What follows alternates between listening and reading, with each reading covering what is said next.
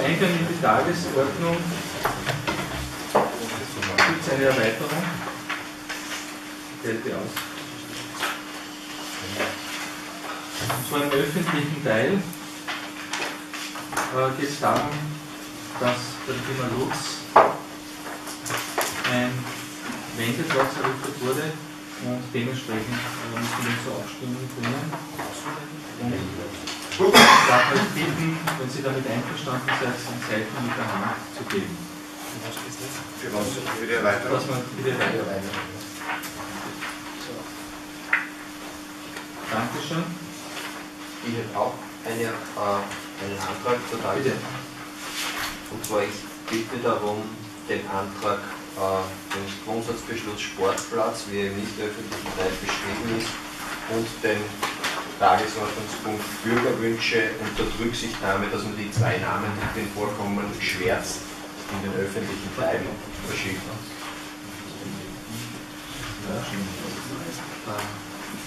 Ja gut, äh, wir haben uns dazu natürlich auch Gedanken gemacht, es ist besser, die nicht öffentlich Teil, äh, die zwei Tagesordnungspunkte, vor allem bei dem einen jetzt, was äh, die, Bürgerwünsche. na, was jetzt einen Grundsatzbeschluss Sportzentrum anlangt, nachdem Sie ja immer wieder begehrt, dass alle Unterlagen vorher da sein müssen und wir keine Unterlagen gehabt haben da zu diesem Tagesordnungspunkt, konnten wir uns natürlich auch dementsprechend keine Gedanken machen, wie unsere Position zu diesem Tagesordnungspunkt ist. Und aus dem Grund äh, werden wir dagegen stimmen, dass wir diesen Tagesordnungspunkt im öffentlichen Teil aufnehmen. Äh, wir können gerne im nicht öffentlichen Teil darüber diskutieren, aber, aber dementsprechend können wir auch, auch keinem Antrag zustimmen. Ich möchte nur zwei Dinge dazu anmerken, das war mir bewusst. Erstens, die Erweiterung, die wir heute wieder beschlossen haben, haben wir auch vorher keine Unterlagen gehabt. Und zweitens ging es bei diesem Punkt nur darum, um etwas, was du bereits auch schon, äh, weil wir voriges Jahr beantragt haben, in der, Geme- in der Bürgerversammlung sogar offen kundgetan hast. Also es wäre nichts, was irgendwen überraschen würde können. Ja. Also unsere Position ist klar, die ändert sich jetzt auch nicht. Äh, betreffend Bürgerwünsche, wir haben das auch bei der Vorstandssitzung auch schon erwähnt, es gibt da einige Teile drinnen, äh, die den Datenschutz betreffen. Und äh, dazu möchte ich noch anmerken, auch was die Bürgerwünsche anlangt, weil du ja noch hinweist, dass es seit 25.03., also seit, seit März, April äh, diesen Jahres sozusagen Bürgerwünsche bestehen, äh, die, wo ich sage, zu 90 Prozent äh, die Verwaltung betreffen würden. Und wenn du das direkt an die zuständige Abteilung in der Gemeinde äh, richten würdest, diese Bürgerwünsche, dann könnten diese Sachen sofort erledigt werden. Beziehungsweise sind ja die meisten sowieso schon erledigt worden. Und äh, wenn es jetzt äh, auch die umgesetzt werden sollen, äh, dann ist es schön, dass du dich für deine Bürger einsetzt, aber es wäre gut, wenn du nachher dann der Raschheit halber nachher dann dementsprechend zu der zuständigen Abteilung gehst. Genau. Meistens ist es, ist es die Bauamtsabteilung, die damit befasst werden soll und die kann das dann auch umsetzen.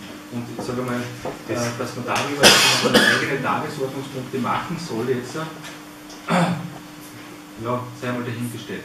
Aber wie gesagt, wir haben es am dabei- 25.03. schon beantragt, den ersten Teil, und wir können nichts dafür, leider, dass er die Julika Gemeinderatssitzung gegeben hat. Das muss ich dazu sagen. Gut, einen?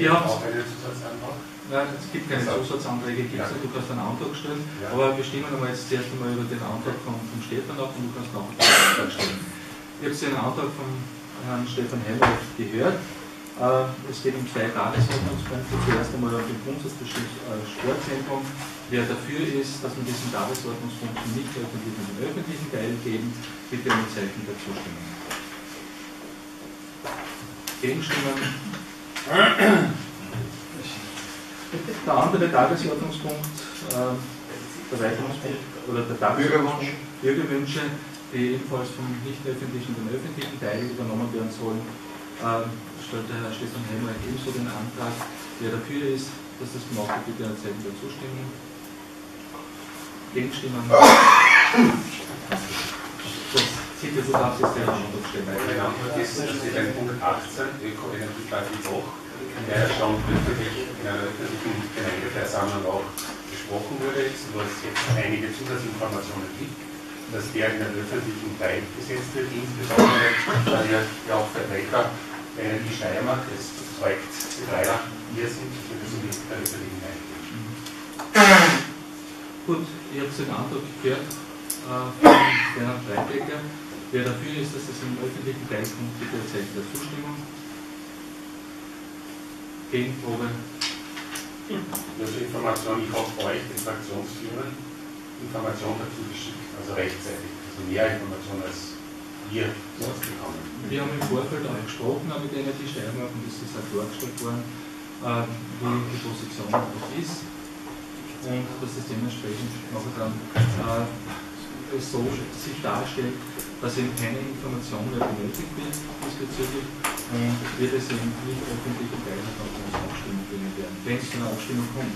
Es wird hauptsächlich einmal darüber beraten werden, wie wir jetzt mit der Situation, der Situation umgehen werden, weil es ja doch Einsprüche gibt und dementsprechend ist es einmal so, wenn nicht öffentlichen Teil einmal auch vom datenschutzrechtlichen Verständnis erfahren und das auch dann nicht öffentlichen Teil einmal beratet und dementsprechend beratscht Dann, dann stelle ich noch einmal einen weiteren Antrag, und zwar eine Erweiterung, dass wir nicht den gesamten Teil 18, sondern dass wir den Gestein auch die Möglichkeit bieten, ist diesen Teil der Präsentation, den ich euch geschickt habe, wo ihr vermutlich nicht alle, über alle Details Bescheid ist, diesen Teil hier äh, öffentlich darlegen können. Ja, Entschuldige, ich kurz. Wir es zuerst. Das ist verständlich, ich bin heute auch schon wieder. Ähm, ich habe euch eine Präsentation geschickt, wo ungefähr das zusammengefasst ist, was die äh, Energie Steiermark Ja. uns als Gemeinderäten, aber auch den Professoren mitteilen möchte. Und mein Antrag ist, dass die Energie Steiermark die Möglichkeit hat, äh, diese Präsentation zu erklären, weil ich vermute, ich schließe von mir auf euch, äh, dass nicht alle über alle Details Bescheid wissen, die aber trotzdem wichtig sind, aber auch für die Öffentlichkeit wichtig sind. Ja, stell mal. Gut, ihr habt den weiteren Antrag von Bernhard Freitag gehört. Wer für den Antrag stimmt, bitte erzählen der Zustimmung. Gegenprobe. Lemming ist ja nichts dagegen. Ich glaube, das ist normal. Äh, der Herr Frey war zum falschen Zeitpunkt. Der Wolf, hat auch gut gestimmt. Gut, äh, dieser Part wird nachher dann am Ende des öffentlichen Teils nachher dann stattfinden und dementsprechend die Erläuterungen von der. Passt? Gut, Bernhard, der erste Antrag ist noch offen. Also das war der zweite. Der Antrag. Okay. Deinen. Ja, das ist schon Du hast über den zweiten abstimmen Ja, lassen. ja. Nein, du hast den ersten abgestimmt, der ist schon abgestimmt worden, der erste. Der erste ist schon abgestimmt worden.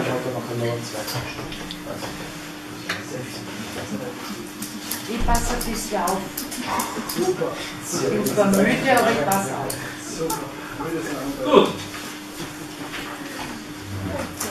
Wir sind in der Tagesordnung, erster Tagesordnungspunkt Genehmigung und Verfertigung des Sitzungsprotokolls vom 14.07.2014. Äh, Es hat einen Einspruch heute gegeben um 13.44 Uhr, der Herr Stefan Helmreich begehrt, da die Einsprüche zum 12.05.2014 nur als Projektion erwähnt werden und inhaltlich nicht angeführt sind, ist auch dieses Protokoll für uns nicht zu akzeptieren. Gut, ich stelle daher den Antrag, der Gemeinderat möge den Einspruch zum Protokoll vom 14.07.2014 vom zweiten Vizebürgermeister Helmreich, die Projektion der Einsprüche vom 12.05. anzuführen und nicht zuzustimmen. Wer damit einverstanden ist, bitte das Zeichen der Zustimmung. Gegenprobe. Gut, weiter stelle ich den Antrag, der Gemeinderat möge das Protokoll vom 14.07. in der vorliegenden Form beschließen. Wer damit einverstanden ist, bitte Zeichen der Zustimmung. Gegenprobe. Danke. Tagesordnungspunkt 2.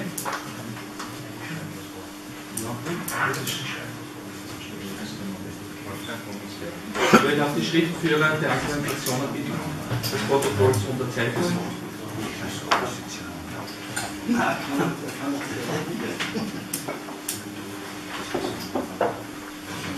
Das war eine Frage, Frau. Du trittst nicht auf,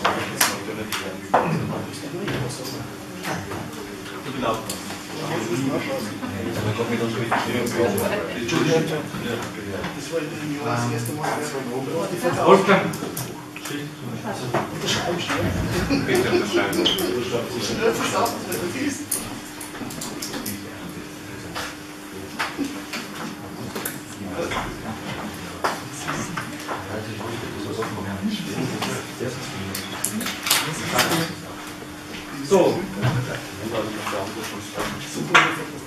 Tagesordnungspunkt 2. Es geht um das Jagdwaffenentgelt. Äh, Das Jagdwaffenentgelt 2014 beträgt 2.348 Euro. Und ich stelle daher den Antrag der Gemeinderat Auf- den Aufteilungsentwurf des Jagdwaffenentgelts 2014 in der vorliegenden Form zu beschließen. Wenn Sie damit einverstanden sind, bitte um ein Zeichen der Zustimmung. Frage noch.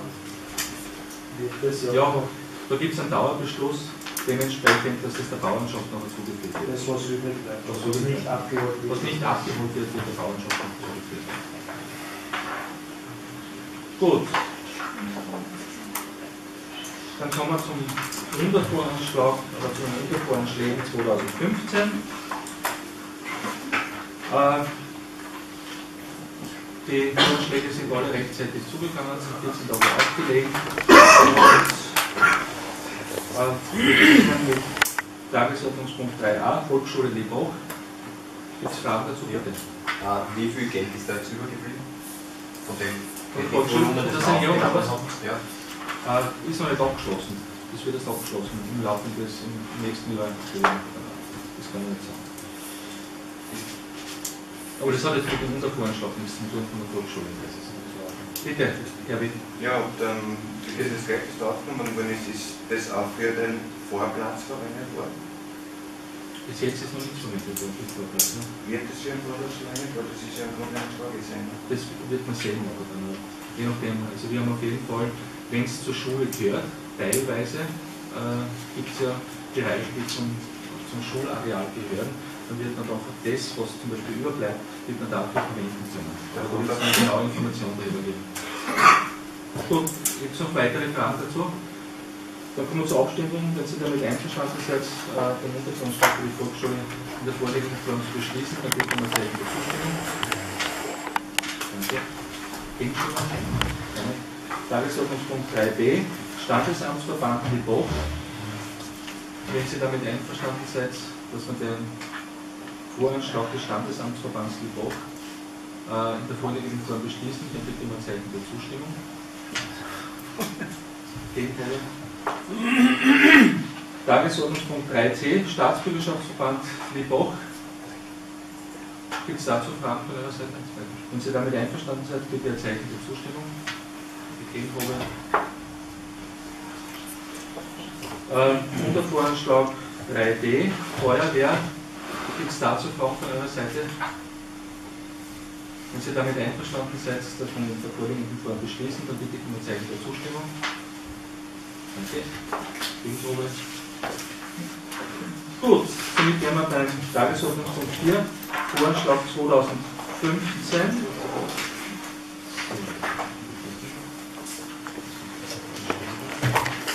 Dann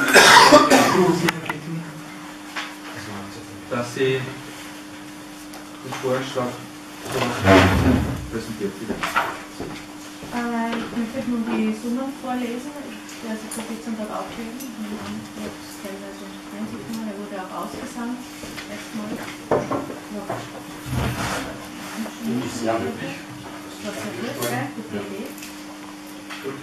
So, ordentlicher Haushalt 2015. Summe der Einnahmen 7.677.000. Summe der Ausgaben 7.677.000. Somit ein Null, wie immer. Außerordentliche Haushaltssumme der Einnahmen 6.024.100. Summe der Ausgaben 6.254.800. Somit ein Abgang von 230.700. Äh, die Steuerregelsätze, Grundsteuer für landwirtschaftliche Betriebe 500 100 für Netzbeträge, sonstige Grundstücke 500 von 100 für Netzbeträge. Die Lustbarkeitsabgabe wird im Haushalt 2015 in den Abgabenordnung 16.000 erhoben. Hundeabgabe wird im Haushalt 2015 mit 60 Euro pro Hund erhoben. Höchstbetrag der Kassenkredite, die im Haushalt 2015 zur rechtzeitigen Leistung von Ausgaben des ordentlichen Haushalts in Anspruch genommen werden dürfen, wird mit 1.279.500 Gesamtbetrag der aufzunehmenden Darlehen, die zur Beschreibung von Ausgaben des außerordentlichen Haushalts bestimmt sind, wird auf 340.000 Euro für Kreisverkehr Hitzendorfer Straße Batterstraße, bereits beschlossen und genehmigt, 4.447.000 für Rückhaltebecken Wiener Busenbach, 100.000 für die Leitstraßenbeleuchtung Teil 2 und 80.000 für Fahrzeugankauf Wirtschaftshof. Insgesamt haben wir eine Summe von 4.967.000 festgesetzt. Davon wurden 340.000 für das Vorhaben im Kreisverkehr bereits beschlossen und genehmigt. Gut, So, 2015 gibt es Fragen dazu. Wir haben auch die Malis Stromberger eingeladen für detailliertere Fragen und diese zu beantworten. Herzlich willkommen und zur Begrüßung. Und Ich habe eine Frage zur Seite 23. Äh, warum steigen die Telefongebühren um das Doppelte? Äh, Wer